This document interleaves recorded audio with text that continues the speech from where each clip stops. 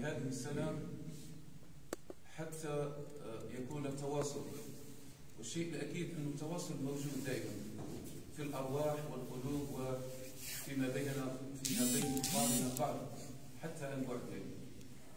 فهي سنة مرت بحلوها ومرها وفقدنا من فقدنا رحمهم الله ومن مرضوا منا أيضا شفاهم الله. ولكن الحياة مستمرة. وهذه فرصة لعل هي والأكيد أنها فرصة يعني طيبة ولقاء يعني روحاني ورباني حتى تكون فرصة للدعاء والتضرع إلى المولى سبحانه وتعالى في حضرة الخليفة والجمع الكريم لعل سبحان لعل ربنا سبحانه وتعالى يرفع عنا هذا البلاء والوباء إن شاء الله. في أبيات يذكرها الشيخ سيدي العربي بن سايح رضي الله عنه ورضي عن شيخنا الأكبر سيدي أحمد التجاني رضي الله عنه وسيدي الحجري رضي الله عنه مادحا سيد الخلق أجمعين.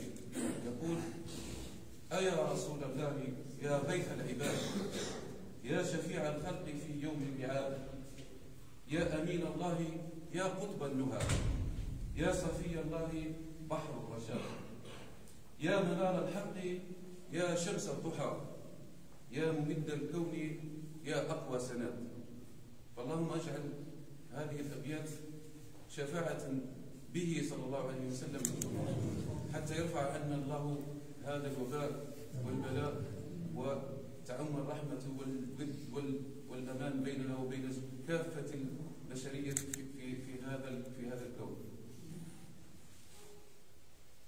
مثلما دأبت عليه طبعا الزاوية على اللقاء هذا السنوي حتى يضم يعني الأحباب الوافدين من كل الولايات بلقاء والتكرم بلقاء شيخنا ومولانا سيد سيدي محمد العيد التجاني رضي الله عنه. أيضا هذا العام كان استثنائي يعني أو بشكل خاص ان صح التعبير ولكن حتى لا تمنع أو لا تحول دون لقاء وتجديد العهد وتجديد اواسر المحبه بالخليفة رضي الله عنه فكان التنظيم وإن كان يعني بحضور ممثلين عن هذه المناطق أو النواحي حتى يكونوا أيضا هم آه، ممثلين ويكون بمثابة حضور حتى الغائبين أيضا اللهم بلغ مقصد كل من قدم هذا آه، الزيارة المباركة وتقبل الله منا ومنكم أجمعين. اذا دون إطالة فيه آه، كلمتان يعني تقدم باسم الوفود باسم يعني الوفود القادمة من منطقة الغيبة وحبا وما جاورها.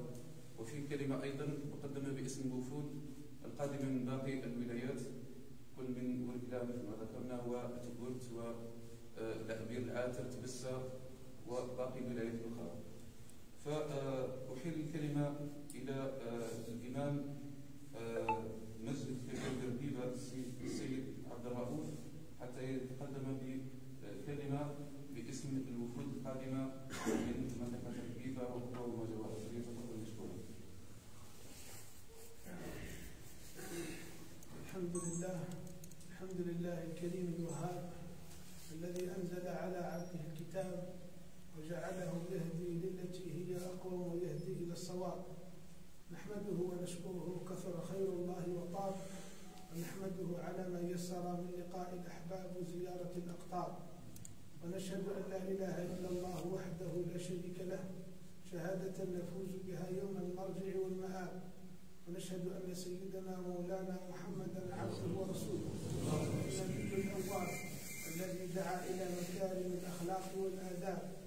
صلى الله عليه وسلم وبارك وعلى آله والأصحاب ورضي الله تعالى عن سيدنا أبي العباس طيب الأنفاس دفين فاس أحمد بن محمد التجاني.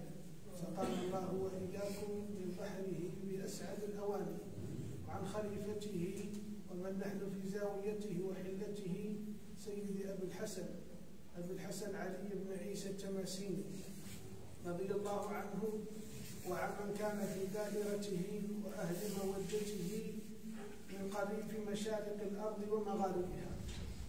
وبعد فيسعدنا أن نحل في هذا اليوم المبارك كعادة أسلافنا في شهر في مطلع موسم الربيع بهذه الرحاب وأن ننزل بهذه الأعتاب في هذه الدار التي أسسها وسكنها الأخيار نسأل الله تعالى أن ينفعنا بهم في هذه الدار وفي تلك الدار. ويجدر بي أن أذكر ما كان ينشده ما كان ينشده القطب بدي بن سيدينا خليفة سيدي محمد الحافظ عند عند زيارته لقبره وهو يقول يا ساكن يا صاحب الروض التي حشوها من نافع العلم والتقى والعفاف يا صاحب الروض التي حشوها من نافع العلم والتقى والعفاف. نحن بالباب واقفون نرجي نفحة منكم لنيل العوافي بين أهل وصاحب ومحب وقفوا من جنابكم باكتناف قد حملنا متاعنا من بعيد نحوكم والركاب غير خفاف. ونزلنا بساحة الروض ضيفا. إن في القبر مكرم الأضياف. وأقبلنا من الضريح قريبا. إن فيه مبطى الأكناف. أنت ضيف الكريم من كان ضيفا. لكريم يضيف خير مضاف. نطلب القوت منكم بقلوب ولحسب الجسوم قدر الكفاف. إن من أسعف الخليل لباقي وجدير بكثرة الإسعاف. قد أمنا من الشرور وقد أمنا من الشرور جميعا. وظفرنا بخير وظفرنا بخير بكل خير ضافي وعلونا منازل من صرفنا إذ نزلنا بساحة الأشراف.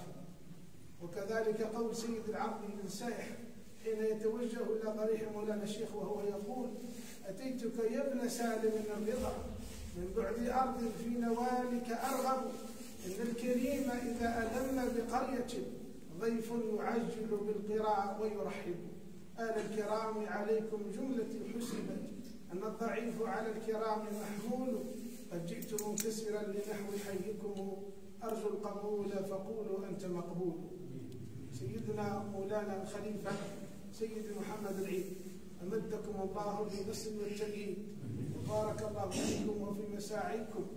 وحفظكم ووقاكم ومن كل حفظكم ورعاكم ومن كل سوء وقاكم فها هو وفد دائرة الرقيبة بكل ضواحيها بداية من ممثليها في ممثليكم من مقدمين وخاصة المجتمع من المقيبرة والحمراية والفولية والربة والرقيبة الوسط بضواحيها الشرقية والعوايشة والعرفشي وكلهم قد جاءوا في هذا اليوم السعيد المبارك للقيا بكم.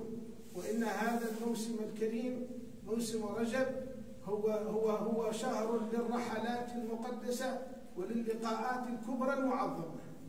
فإن في هذا الشهر كانت الرحلة العظيمة لسيدنا رسول الله صلى الله عليه وسلم في لقائه بربه ولقائه بالأنبياء والأصفياء الذين سبقوه في الأرض وفي السماء. فنسأل الله أن يكون لنا الحظ الوافر من هذه الزيارات ومن هذه الرحلات ومن هذه اللقاءات.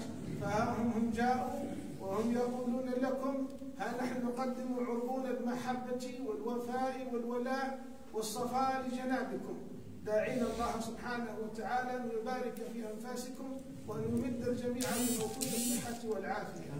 وإننا إذ نأتي لهذه المقامات الطاهرة وهذه الرحابات الصالحة التي سكنها الصالحون متزاورين في الله لا لغرض آخر سواه متزاورين في الله نسأله تعالى أن يجعلنا ممن استوجب ما جاء في الحديث القدسي. حقت محبتي للمتزاورين فيه. وجبت محبتي للمتزاورين فيه. وما جئنا في هذا ما جئنا في هذه الزيارة إلا لأجل أن نحوز إن شاء الله هذا الخير. وإن هذه الرحاب الطاهرة رحاب الصالحين إذا جاءها الإنسان ينبغي له بعدما يأتيها بنية صالحة. وبعدما يأتيها بصفاء وصدق أن يمكث فيها ساعة. لعل الله أن يعطينا مما أعطى هؤلاء. كما قال عليه الصلاة والسلام في رحلته في شهر رجب في غزوة تبوك لما مر بديار ثمود قال خمروا وجوهكم وأسرعوا وابكوا فإن لم تبكوا فتباكوا لئلا يصيبكم الله مما أصاب فهذا في ديار المسخوطين عياذا بالله. وكذلك في ديار الصالحين. إذا مررتم بها فافرحوا واستبشروا وانبسطوا وارتعوا فإنها رياض الجنة. لعل الله أن يصيبكم مما أصاب من الرحم من تلك التوجهات ومن ذلكم الصدق ومن ذلكم الصفاء والنقاء. الذي تلقوه تلقاه مولانا شمسين رضي الله عنه عن شيخه سيد أحمد تجاني والشيخ سيد أحمد تجاني تلقاه عن حضرة سيدنا رسول الله صلى الله عليه وسلم. ورسول الله صلى الله عليه وسلم أدبه ربه فأحسن تأديبه. فالمقصود كله من هذا هو وجه الله سبحانه وتعالى. فإن هذه الرحال تؤتى في هذا الموسم موسم التذكير وموسم التأبير لأجل أن نذكر نذكر وأن ننبه تنتبه نفوسنا من الغفلة. لأجل أن تزكو النفوس لأجل أن تصفو القلوب لأجل أن تستنير العقول فإنه اللقاح. وقد قالوا لقاء الأحباب لقاح الألباب. مرتبطين بالشعار الذي أسسه صاحب هذا المقام بقوله اللوحة وهو ارتباط بكلام الله وكتاب الله. فإن قافلة سيرنا إلى الله كما كان هو يرشد يرشد أهله وذويه وأصحابه.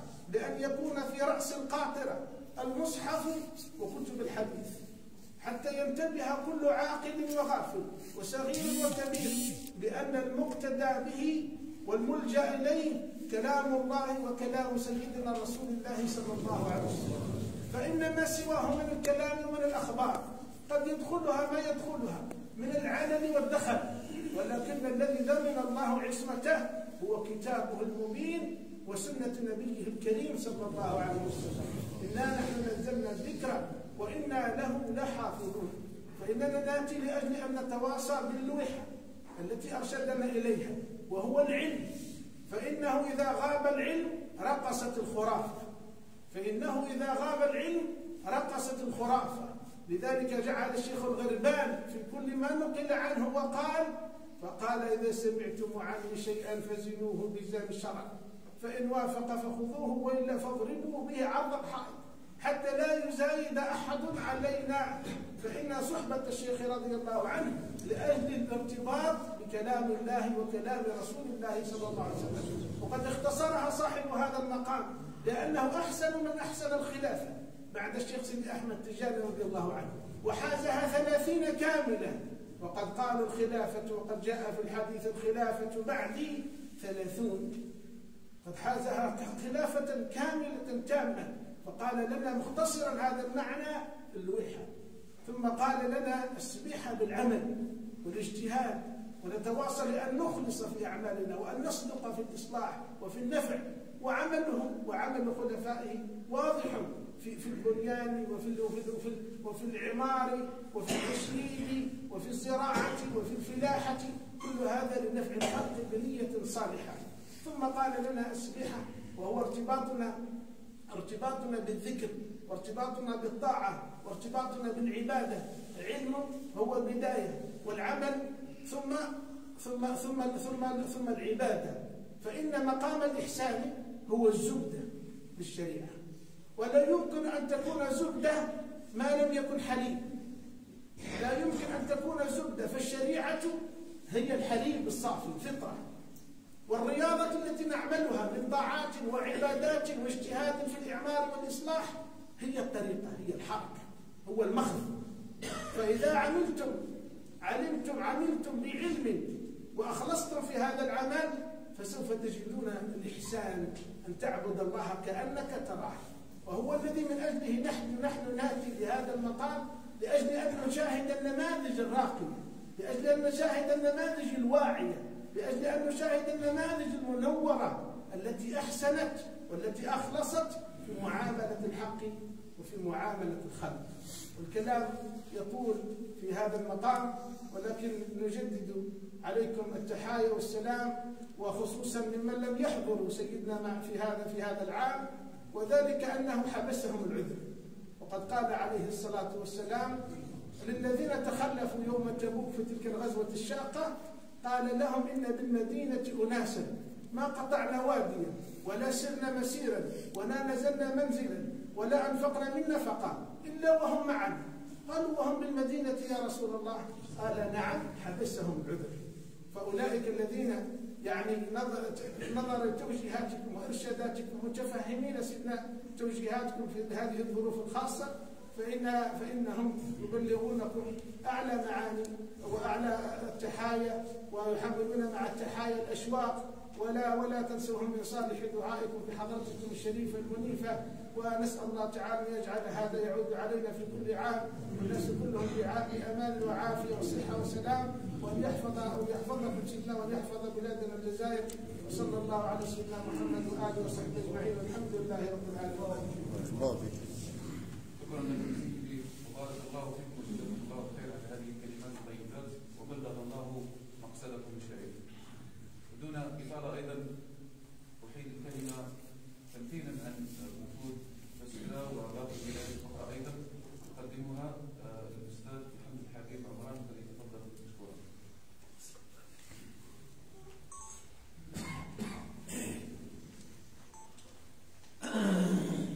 الحمد لله رب العالمين رفع السماء بقدرته وبسط الأرض بقوته. واصطفى جبريل لرسالته. واصطفى ميكائيل لقطرته.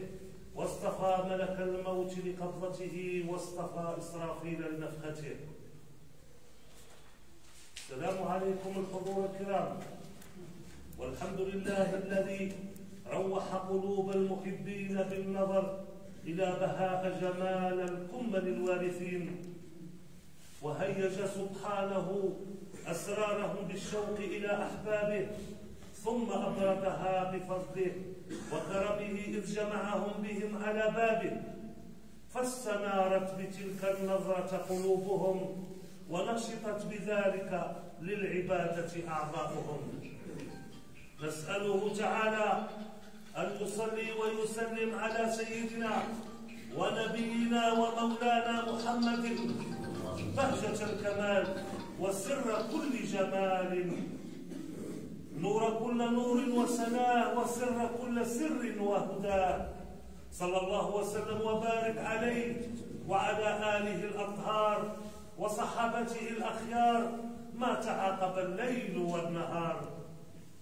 وقدس الله روح شيخنا صاحب الطريق والوارث المحمدي على التحقيق القطب المكتوم والبرزخ المختوم والختم المحمدي المعلوم الغوث الصمداني سيدنا ومولانا أبي العباس سيدي أحمد بن محمد التجاني سقانا الله والمحبين من كوثره العرفاني بأعظم الاواني وجمعنا معه في دار التهاني.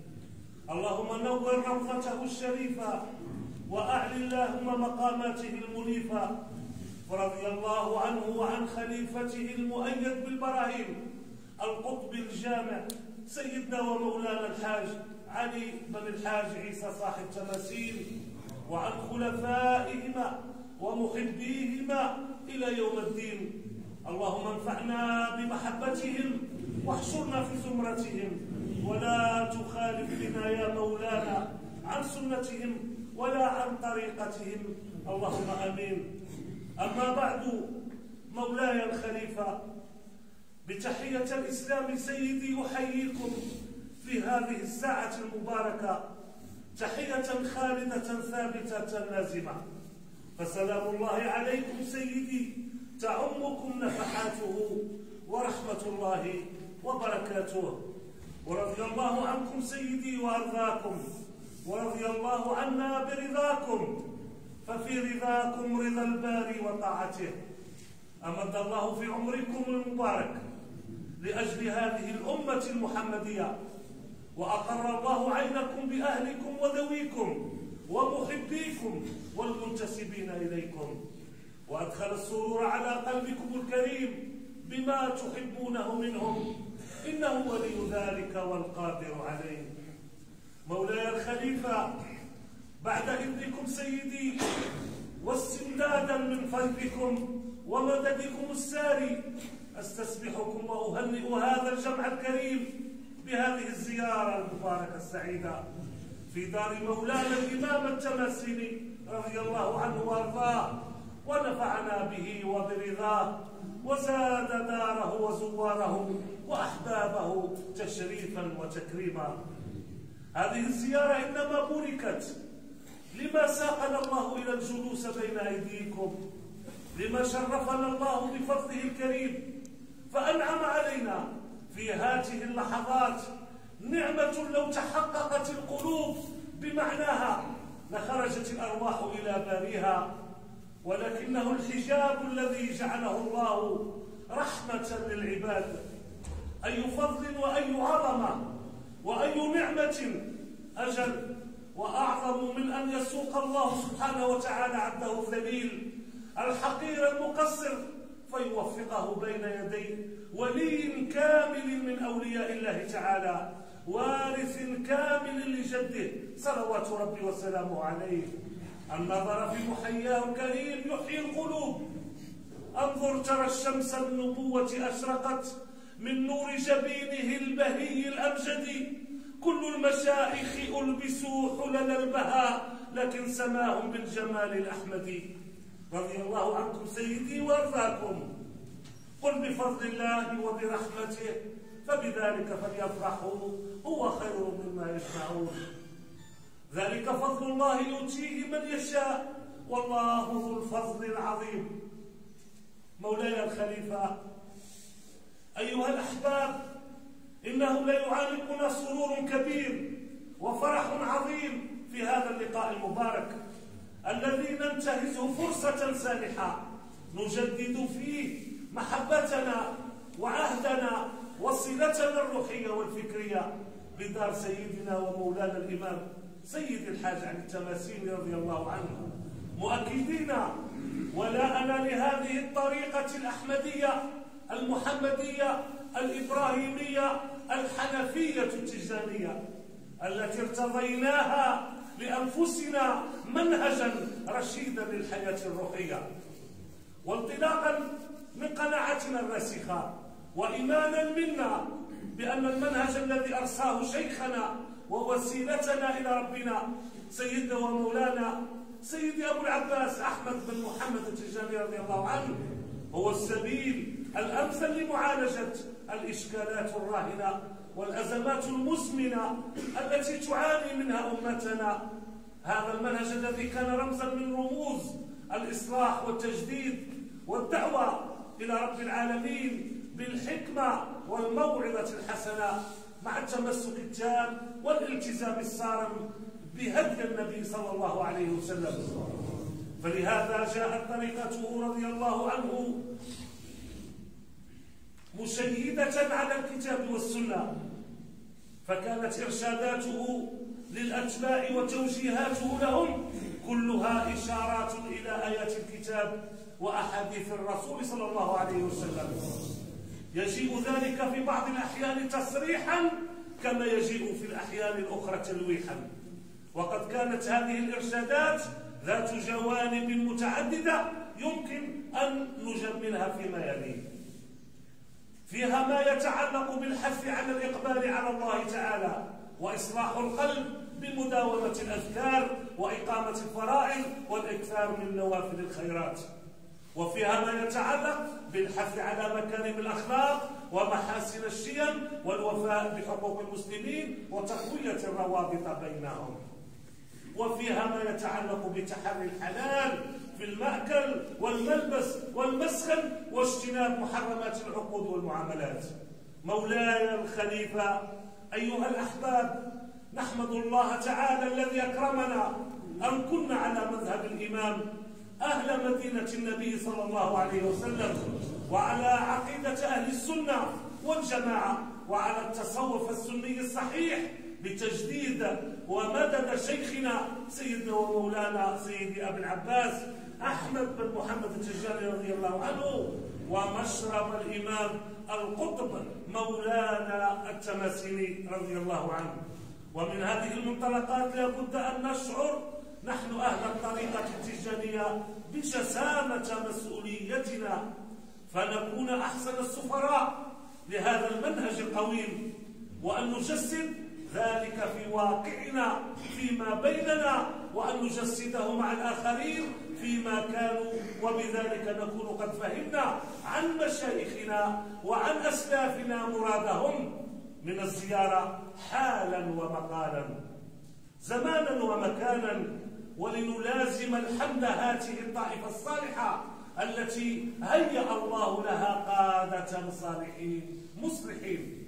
أيها الجمع الكريم لا يفوتني أن أتقدم بخالص مشاعر المحبة والإعتزاز وأصدق آيات الشكر والتقدير والامتنان. إلى اللجنة التحضيرية وفي إطار البرنامج المصدر من طرف مولانا الخليفة الشيخ سيدي محمد العيد التجاني رضي الله عنه وأيده الله بنصره على تلك الجهود التحسيسية التي بذلوها على إنجاح فعاليات هذه الزيارة السنوية وتحت مباركة مولانا الخليفة حفظه الله ورعاه وسدد خطاه وقواه على حمل أعباء هذه الطريقة. وفي النهاية هذه الكلمة نسأل الله الكريم بجاه نبيه العظيم عليه أفضل الصلاة وأزكى التسليم أن يحفظ ويحفظه بما حفظ به الذكر الحكيم شيخنا وسيدنا وكهفنا وملاذنا وقرة أعيننا. خليفة السجادة التماثيلية الدكتور سيدي محمد العيد التجاني التماثيلي.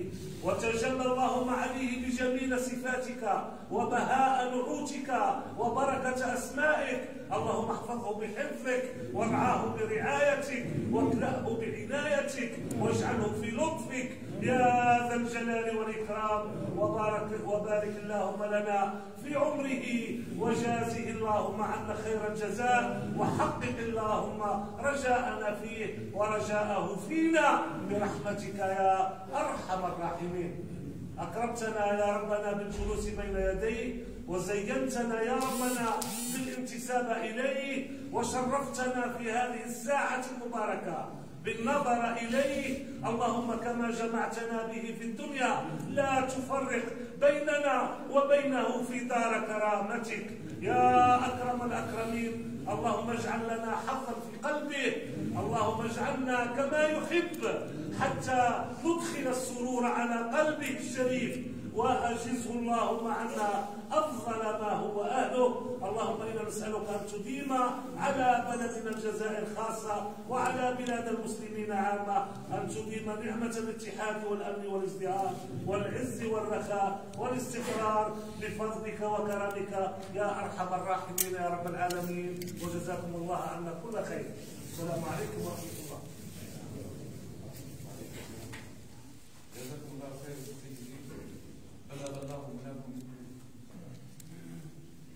وكرم خطاكم في هذا المسعى الكريم وانما خلق الله سبحانه وتعالى في هذا الكون كل شيء بمقدار وبحكمه هو ابتغاها ولعل هذا ال- وان كان هذا البلاء والوباء أيضا علينا يعني بسيئاته وايجابياته وانما هو الحكمه اللي ابتغاها سبحانه وتعالى ومن مظاهر أو اشكال هذه ال- ال- الحكم ان ان كنا يعني حتى نستفيد من هذه ال- من هذا الحال هو البعد وعدم التواصل ان كان لفتره طويله باعدتنا بين الاحباب وبين اللقاء بين الاهل والاقارب وال- والاصدقاء إلى اخره وانما هي لحكمه أيضا ابتغاها الله سبحانه وتعالى في في الشوق وفي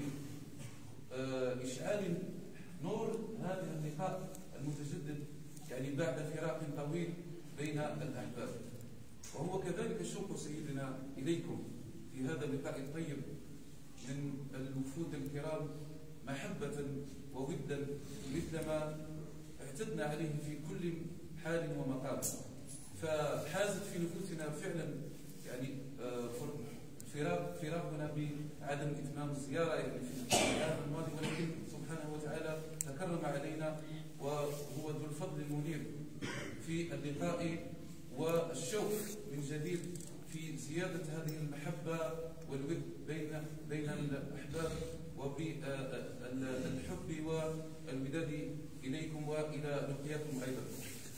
فنتشرف بكلمة منكم سيدي في هذا المقام الطيب والفاتحة والدعاء أيضا. جزاكم الله خيرا وبارك الله فيكم.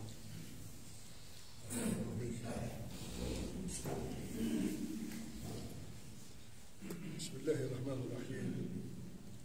صلى اللهم على سيدنا محمد سيد الأولين والآخرين. وصلى الله عليه وعلى آله وصحبه وسلم تسليما. في البدايه عليه السلام السلام عليكم ورحمة الله تعالى وبركاته. ومن خلالكم إلى الآخرين إلى أحبابنا في جميع المناطق. لعل أو في البداية استسمحكم ويستسمح الأحباب على هذا اللقاء ولو رمزي درناه رمز رمز يعني للمحبة والأخوة ورمز للزيارة. لأن الزيارة السنوية كانت تقام في كل سنة في نفس هذا الظرف في هذا المكان. إلا أن عدة مناطق لم يسعدها الحظ من السنة الماضية أن نلتقي. وجاء السنة اللي بعدها اللي رانا فيها اليوم مع الظروف الصحية والظروف الوبائية كادت ألا تكون هذه الزيارة. إلا أن ارتأينا مع الطلب العميق والقوي من طرف الأحباب كلهم في كل مكان على الزيارة وعلى اللقاء بالشيخ واللقاء في بعضهم بعض حتى يجددون المحبة لله فيما بينهم وبيننا وبين الجميع. ارتأينا أن نأخذ هذه السنة على الأقل رمزيا لهذه الزيارة. عيطنا قديم أو الأعياد أو بعض الأشخاص اللي لديهم فعاليات يعني في المجتمع الشباب أو غيرهم. ومن خلال التواصل الاجتماعي مباشرة نلتقي بالأهالي وبالشباب وبالغائبين على هذا المجلس. كما قال أن راهم معنا يعني محسوبين علينا ونحن ونحن محسوبين عليهم. ورانا متواصلين معهم في كل حين وبالوقت يعني مباشرة. إذا باستعمال التواصل الاجتماعي فيسبوك وغيره وزوم وغيره. أنا متقابلين بعضنا بعض ونتكلموا بعضنا بعض وإن شاء الله نزيدوا لها فترة أخرى حتى يولوا يتواصلون مباشرة كاين الإمكانيات لأن نمشوا لها درجة درجة. إذا الحمد لله على هذه الزيارة. الحمد لله. على هذا التواصل عبر الزمن كما بدأ به من عصر النبي صلى الله عليه وسلم. كانوا كانوا المسلمين يتواصلون مع النبي صلى الله عليه وسلم بزيارته على الأقل كل عام مرة. وبعد انتقلت مع مع الخلفاء الراشدين وثم التابعين إلى تابع التابعين إلى ما شيخنا إلى حاجة إلى يومنا هذا. إذا الحمد لله على هذا التواصل الميمون إن شاء الله. إلا هذه التواصل لحبنا في تلاقينا فيما بعضنا نتوجه لله سبحانه وتعالى عن طريق هذه السلاسل يعني الكريمه الذهبية التي أتانا بها الله سبحانه وتعالى وأسندنا أسندنا بها. فنحمد الله على النعمة التي أنعمنا الله بها في هذه اللقاءات الطيبة لأنها كانت لوجه الله خالصة. والحمد لله حتى الغائبين قلوبهم معنا وهذا يشوفوا فينا مباشرة. وإن شاء الله ستكون زيارات أخرى إن شاء الله بعد رفع هذا الوباء أو البلاء يعني علينا ولك إلا أن هذه إرادة الله سبحانه وتعالى علينا بالقبول عليها. والصبر وخاصة الصبر فات عام هوجا العام الثاني إن شاء الله نطلب من الله سبحانه وتعالى أن يهفت علينا هذه البهيجة ويعطينا الفرصة نتلاقي مع بعض إن شاء الله قريب إلا أن حتى ولو الوباء بعدنا لبعض وزاد الفرقة اللي وقعت إلا أن لابد أكرمنا الله مش أشياء كثيرة. علينا أن نتذكرها يعني.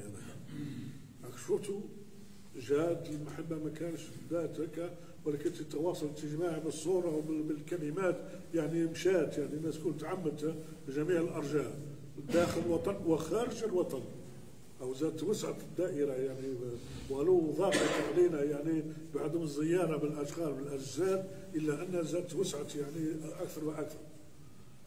جاء رمضان منع عنا التراويح إلا أن كرمنا الله سبحانه وتعالى أرجع ديارنا كلها مساجد.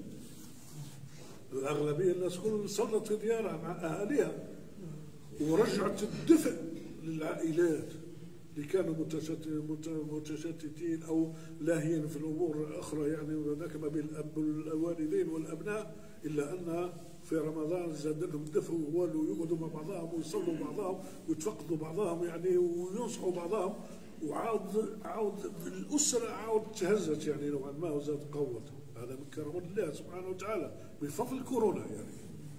وإلى آخره وصلينا العيد في ديارنا وتواصلنا بدون ذاك يعني عبر الوسائل يعني. حتى حاجة ما فاتتنا يعني. بل ولت عندنا المعلومات على الآخرين عليكم وعلى الآخرين في كل حين. والحمد لله.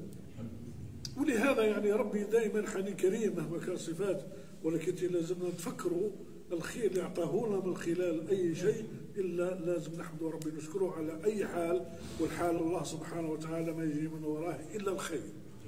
إذا كان شر أنفسنا أو كل خير عند الله سبحانه وتعالى. علينا بالشكر والحمد يا رب. والزيارة هذه محطة تجديد. شوفوا ربي خلق تجديد في كل حين في كل سنة وفي كل شهر في كل أسبوع وفي كل وقت. وها أنا نحن إن شاء الله في كل في كل زمان رانا مع بعضنا بعض. ولله الحمد والشكر. هذا أصل من الزيارة إلا أنه تسارع الزمن وتحديث يعني العلاقات التواصل مع بعضنا سبحانه نزيد نتلاقوا أكثر فأكثر. ولله الحمد والشكر. ولا ننسوا ولا ننسوا يعني ما ما ننسوش مرضانا التي حالت منهم الأمر لله. هذاك ربي يشفيهم إن شاء الله ويرفع عليهم الضر إن شاء الله وتلاقوا بهم في ساعات طيبة إن شاء الله. خاطرش قاعدين يتسائلوا وقاعدين يطلبوا يعني وش وقع كل جاش وما جاش كيفاش تلاقت الناس الأحباب في بعض بعض. إن شاء الله ربي تلاقوا فيهم عن قريب إن شاء الله في أحسن الأحوال. أما موتانا ربي يرحمهم إن شاء الله برحمة الواسعه ويسكنهم فسيح جنانه ويجعلهم معنا مع النبيين إن شاء الله والسيدين وجميع الخير إن شاء الله في الجنة إن شاء الله. أما حبيت نرجع شوية للتواصل الاجتماعي. تطور في الدنيا هذه الدنيا تتطور. علينا نحن نطوروا معها شوية باش ما نخيبوش باش ما ما ما, ما, ننسوش بعضنا من تدري ونحن إن شاء الله بهذه نشوف فيها كما تشوفوا يعني الوسائل اللي ربي عطاها لنا اللي يسرها لنا لنا السيارات ولنا نجو في ساعه في ساعة نتلاقوا إذا كان حاجة كبيرة دار لنا التليفون باش نعرفوا الأخبار تاعنا ونعرفوا المواعيد ولك وزاد لنا هذا التواصل إلا أن في الأول هالفيسبوك التواصل الاجتماعي الناس ما عرفتوش كيفاش تخدموا بدات تسب بعضها وبدات تدخل الشوشرة وبدات النطاح في بعضها بعض. إلا أن نزيد لعل نقول في بداية الكورونا ربي يسمح لنا ربي أعطانا هالفكرة هالتواصل الاجتماعي زاد نور لنا ونور لنا قلوبنا ونورنا مع الأكاديميين والعلماء في جميع العالم. قلت لكم هالأمور هذه وباء الكورونا زاد وسعنا.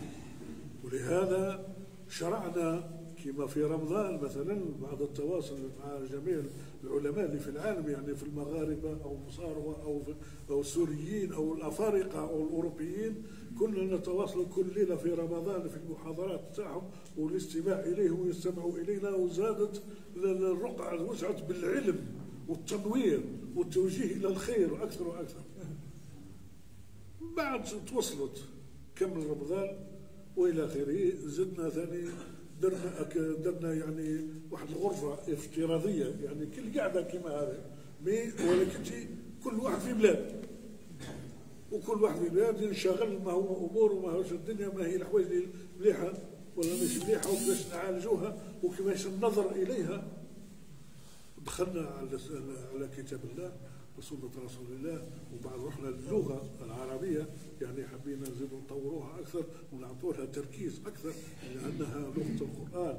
يعني أكثر من مش غير لغة القرآن مش لازم نبدأ نطق لكن الأهمية اللي فيها هذه اللغة علاش اخترناها بالذات؟ هي بما أن الرسالة المحمدية رسالة الله هو القرآن الكريم للجميع البشرية كلها. أعطاها في الآخر إلا باللغة العربية. راكم شفتوا لنا 14 قرن قرن وما فوق لليوم القرآن بقى محفوظ بلغة العرب أي بالعربية. ولهذا بعد المفكرين أو المؤسسات العالمية الكبرى وتوصلت مهما ذاك أمريكان وإنجليز وفرنسيس ولوا واش يديروا؟ بعد الخدمة تاعهم أو بعد الاجتماعات تاعهم لابد يعاودوا يوثقوها كلها بالعربية. خاطر شافوا هذه رسالة للأجيال اللي من بعد. شافوا اللغات نتاعهم كل عام تطور. تبدل كلمات تنحو يسعى معاني تزيد ومعاني تنقص.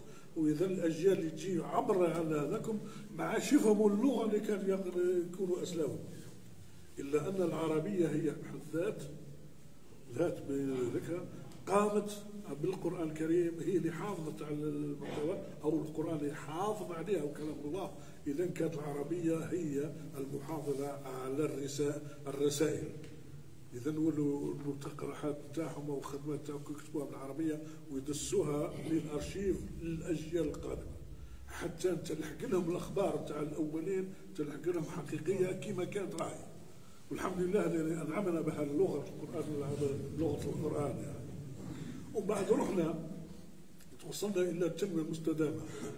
التنمية المستدامة وشيء ما كيفاش الإنسان يعمل وكيفاش يطور روحه كيفاش يجيب الثروات وكيفاش يخدم ويرتقي إلى أعلى ولكن بشرط المحافظة يخلي ما يلزم للأجيال القادمة.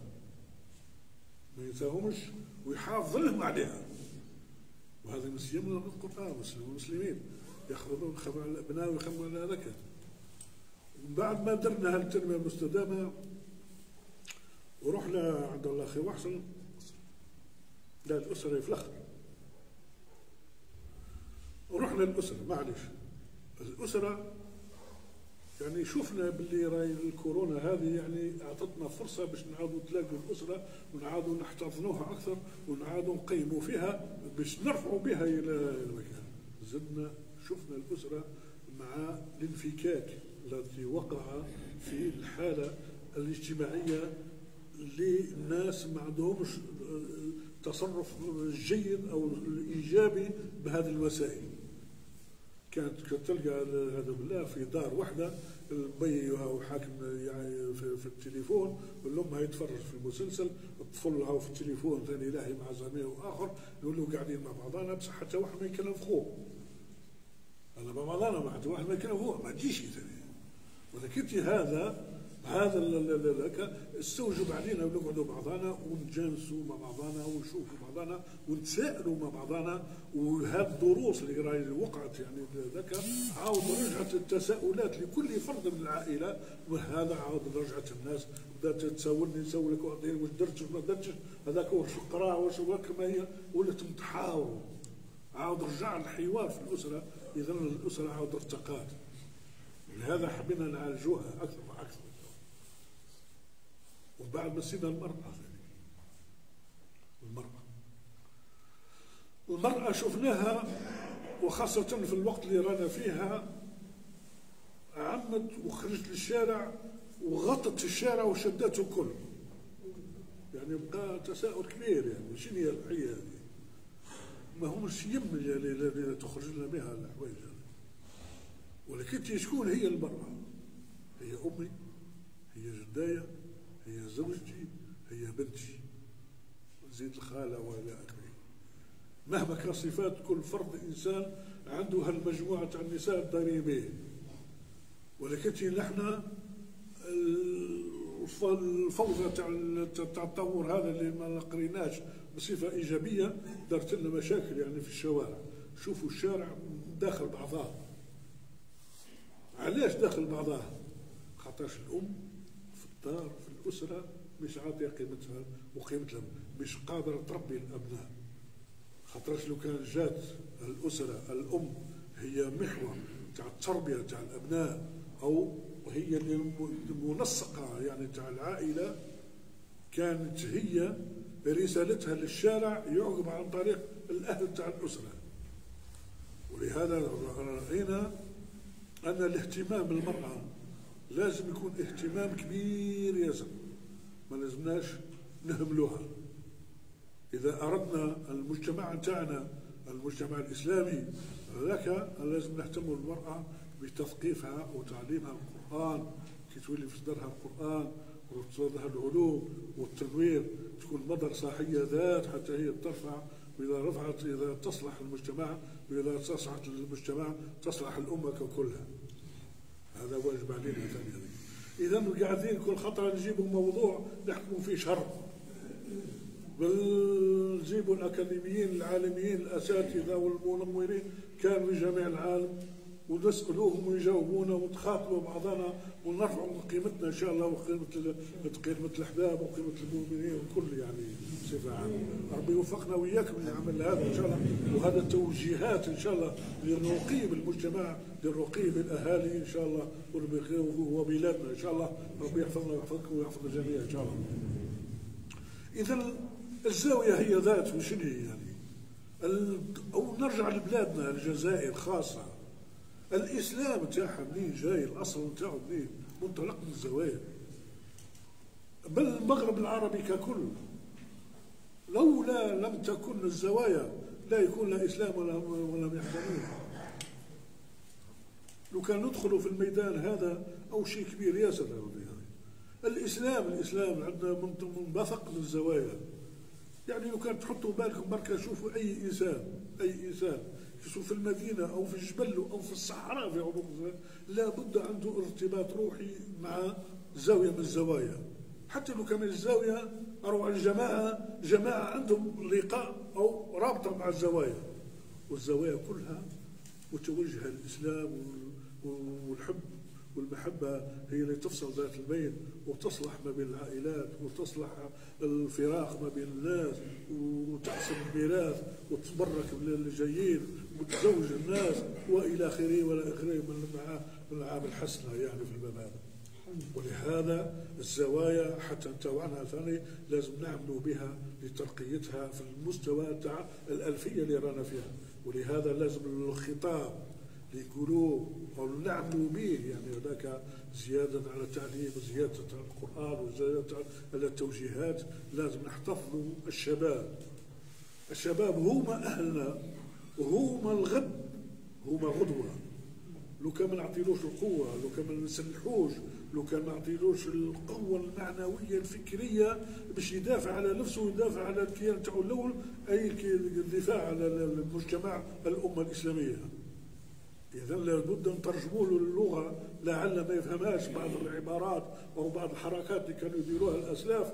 نعاودوا نبرجوها له من جديد. يسموها التبرج. نعاودوا نبرجوها له نعاودوا نحكوها له اللي هو بالصيغة أو بكلام أو بوسيلة كما اللي يعرفها هو اللي يتحكم فيها.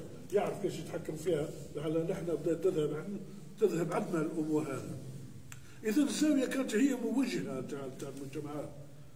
عن طريق الأهالي الأسرة والشباب. وعلينا الاعتناء بالشباب. لازم نطوروهم ونوروهم واللي يرفع يرفع بهم الله سبحانه وتعالى الرسالات يعني جيل بعد جيل. وعلينا العمل هذا وهذه الزوايا لازم نقوم بها. وهاكم تشوفوا يعني الحمد لله يعني كما حاولنا على قدر استطاعنا في الوقت اللي رانا فيه. كان تشتت فيه تفرقة إلا أن الشباب كانوا أهلنا عندهم الروح تاع الوالدين والروح تاع الأصالة هكا إذا نشوفوا فيها كل رجعت. حتى اللي مازالوا بعيد معليش هو اللي كنت يقود يعود يرجع. ربي كل بالخير إن شاء الله. نحن رانا شايفين إلا الخير وراح يجي الخير فأكثر فأكثر. وخاصة الوقت اللي رانا فيه بدات الناس تخمم برسالها بدا الروح بداوا ينوروا القلوب تاعهم طغات علينا المادة طغات علينا الوسائل هذا بلا مرة الأولى تعلمناها بدون علم. اجرب جيب تليفون حتى أنا عندي تليفون أزرق واحد أخضر واحد كبير واحد عريض واحد مستطول. يعني نفخوا على بعضنا يعني نتفاخروا بها وبدينا نستعملوا بها بدون عناية يعني حقيقية لصالح اللي مستصلح به. ولكن تجاه الأمر. إن شاء الله عاود ترجع الكل باش يولي الآليات هذه اللي رانا نشوفوه تولي وسيلة برك نستعملها. ما تكونش غاية. مش أني فاخر عندي مش فاخر عندي دار كبيرة عندي تليفون زي سيارة. وكل هذا وسيلة. حقيقة في الحياة في الرسالات المحمديه الربانية اللي نديروها اذا لازم نستعملوا هالآليات نتحكموا فيها ومن بعد هذا الوقت جاء وإن شاء الله نزيدوا نخدموا هذا نزيدوا نطوروها في أفكارنا وعلومنا وأرواحنا ثاني نخدم لهذا. وهذا من المزيد يعني هذاك؟ اذا نستبشروا خير يعني عندنا خير كياس يعني مستبشرين اللي راح يجي. أكثر من اللي كان عندنا هنا نقول كما رانا نشوفوا بها إذا راح يجيبوا خير خطاش آه، أبناء الأبناء تاعنا هو أبناء الصلب أبناء تاع الحق.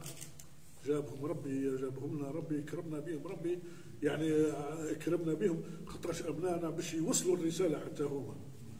نحن نعطوهم ونترجموهم ونساعدوهم ونخليهم يكملوا ربي يزيدهم خير إن شاء الله. ربي يفتح لهم البيبان إن شاء الله يصدقوا لهم النجاح. إذا نجحوا هما ثم نحن اللي ربحنا. ولله الحمد والشكر يا ربي نحمد ربي. لا طول الكلام يعني والقعدة معاكم شيخة وطويلة وحلوة ما عادش تبطل الكلام. يعني إلا أن ما زالت الايامات الطيبة إن شاء الله أو عبر الوسائل أو الرسائل إن شاء الله دائما أو فرادى أو مجتمعات صغيرة إلى آخره نكونوا في أكثر في أكثر. ربي يفتح علينا وعليكم إن شاء الله.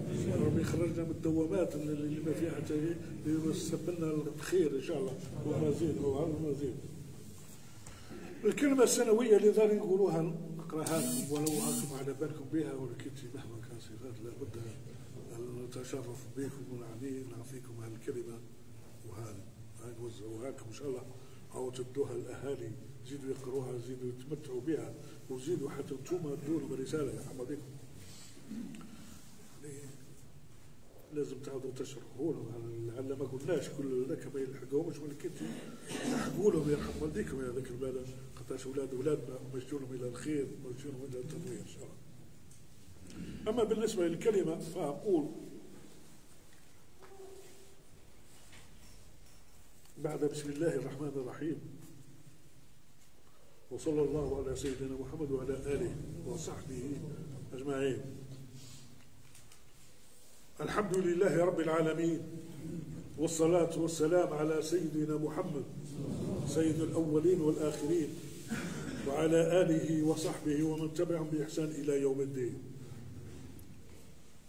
أحبابنا الكرام السلام عليكم ورحمة الله تعالى وبركاته. يعود علينا موسم الزيارة السنوية للأحباب هذا العام في ظرف استثنائي وذلك بسبب انتشار وباء كورونا الذي عم أرجاء الأرض ووجب معه اتخاذ جميع الأسباب الوقائية منها التباعد الاجتماعي واجتناب المجتمعات وكل ما يؤدي إليها. فنحن للأسف لن نتمكن من اللقاء بكافة الأحباب والاجتماع بهم كعادتنا في كل سنة وذلك لظروف مذكورة مع التأكيد على أن السلامة كل السلامة في التزام الإجراءات الصحية التي ينص عليها الأطباء والمختصون في ذلك.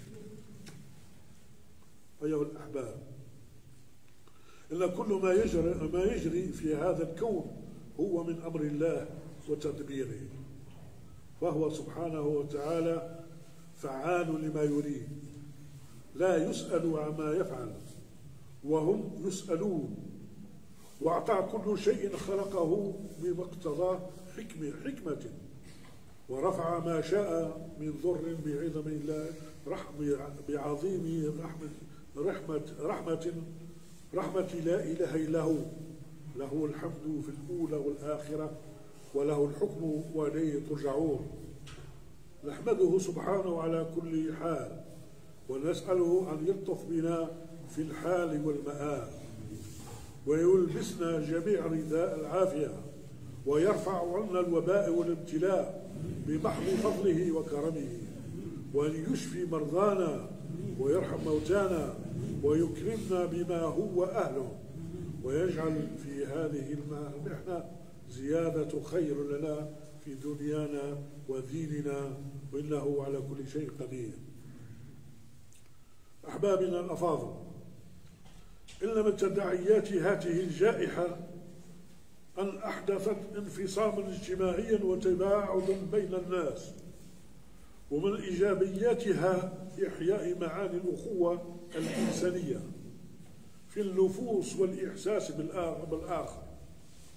وثم الخير للجميع كما أنها أعادت الأسرة الدفء المفقود والتواصل والترابط من خلال المكث في البيوت.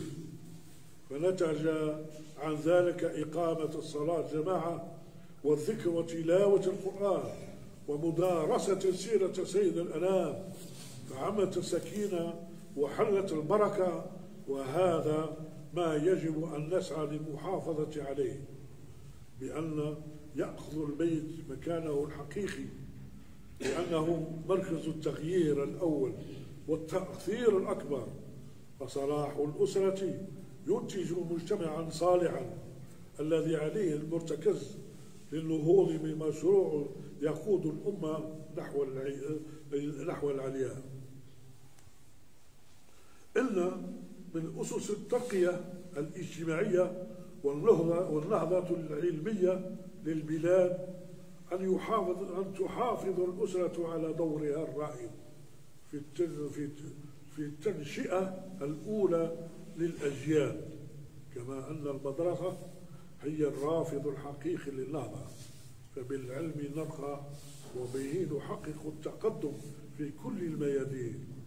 لذا يتوجب علينا أن نعتمد على دور العلم لنحيي بها لنحييها ونحيا بها. وهذا يقودنا إلى احترام توقير صناع العلم والفكر فهم رموز المجتمع وقيمة ثابتة فيه. عليهم مسؤولية كبرى للتنوير ونشر الوعي بين الناس. إذا السعادة السعادة الأسرة روحها والمدرسة نورها تصدر المشهد أهل أهل الدراية والكفاءة وسمع إلى نصحهم وتوجيههم عما عم بذلك الخير والفلاح للجميع. أيها الأحباب لقد أعطت الجائحة لوسائل التواصل الاجتماعي لمسة خاصة وبعد عميقا ووجب استغلاله والتماس ما فيه من نفع ومن ذلك إتاحة فرصة اللقاء بالأكاديميين وقامات العلمية والإستفادة منهم بطريقة سهلة للجميع.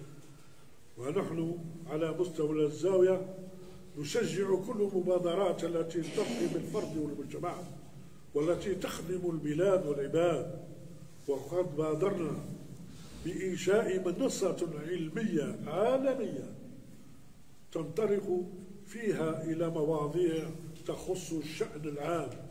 وتعالج قضايا تهم الشباب والمهتمين. وهدفنا في ذلك من ذلك رفع المستوى العلمي وتعطيل الكفاءات ليكون في مقدمة الفاعلين. خدمة للمجتمع وأداة للبناء الوطن والرقي به. فالوطن يحتاجهم اليوم. وغدا فهم الحاضر المجيد والمستقبل الواعد إننا إننا نثمن الخطوات الإيجابية والمبادرات الصادقة لسيد رئيس الجمهورية الرامي إلى تعزيز المواطنة الحقيقية. المبنية على التشاركية في صنع القرار من خلال خلق مؤسسات قوية تقود إلى التغيير الحقيقي الذي يؤسس لبناء الجزائر الجديدة مزدهرة ثقافيا واقتصاديا واجتماعيا. إنني بهذه المناسبة الطيبة أوصي الأحباب بالعمل لأنه يحظ يحفظ كرامته كرامة الإنسان ويجعله نافعا لأهله وأمته وأن يكون الفرد متوكلا على الله في كل الأحوال لا متوكل على غيره وأن لا يرغب أو يطلب ما في أيدي الناس من حطام الدنيا الفاني لأن ذلك ليس من طريقتنا أو تعاليم ديننا بل عليه أن يكون نزيها متورعا كما قال صلى الله عليه وسلم أزهد في الدنيا يحبك الله وأزهد في فيما عند الناس يحبك الناس. نسأل الله أن يجمعنا بكم في القريب العاجل وأن يمتعنا وإياكم بالصحة والعافية والهناء لنواصل معا سيرة العطاء وشعارنا في ذلك ثلاثية الإمام التماسيني العلم والعمل والعبادة. وتحت راية لا إله إلا الله محمد رسول الله. موكلين أن الإخلاص هو باب الوصول إلى مرضاة الله. وفقكم الله جميعا وسدد خطاكم وأعاننا وإياكم على ما يرضيه. سبحانه وتعالى إنه ولي ذلك والقادر عليه. والسلام عليكم ورحمة الله تعالى وبركاته. اللهم اجعلنا مع بعضنا بعض إن شاء الله. ننصح بعضنا بعضا ونسمع منكم تسمعون ونسمع من بعضنا بعض للترقيه لهذا المجتمع وهذه البلاد والحفاظ على أهالينا وأمواتنا المؤمنين الاسلاماء ورفعة رايه رايه لا إله إلا الله محمد رسول الله. والاعتناء بزوايانا وتعالى لأن في الوقت اللي راني فيه رانا فيه اليوم هذا بكم ونعاودها ونزيد نعاودها على الله الوقاية الوقاية الوقاية. أو غيرنا الحال كي يروح منا ولا يمرض لنا واحد ولا حاجة. يعني لازم لنا يعني نحيروا ولكن يخفوا علينا الألم يعني نتاع هذا يعني باجتناب يعني الغاشيات والتجمعات اللي داخله بعضها والنظافة والاحترام بعضنا ونصبروا نصبروا لحكم الله. ما نسامحوش على بعضنا علينا بالسلام. ونشوفوا بعضنا وتوقفوا بعضنا ونحيروا على بعضنا بعض إن شاء الله. ولله الحمد وصلى الله على سيدنا محمد وعلى آله وصحبه وسلم تسليما. الآن خاطرنا زياره الحاجة للتماثيل لنثبت يعني المجيء تاعنا وبعدنا الفكري والروحي لهذا البلد حتى نجدد يعني العهد في هذا فيما سمعناه ووعدنا وتوجهنا لله سبحانه وتعالى وتزاورنا في الله سبحانه وتعالى أن نطلب ربي إن شاء الله أن يوفقنا وإياكم لعمل الخير إن شاء الله وأن يجعلنا لجميع الأهالي والأولاد والنجاح إن شاء الله. ويحفظنا ويحفظكم إن شاء الله. ويحفظكم كما حفظنا به الذكر الحكيم. نرفع يديك فينا كافنا ولا تنسونا يرحم والديكم ولا تنسونا ولا تنسوا أهالينا وأمهاتنا وأبنائنا وأبنائكم كل وربي يرحم الموتى وربي يشفي المرضى إن شاء الله. وخاصه في هذا الوقت يعني تذكرونا ياسر يعني العاطي يا ربي.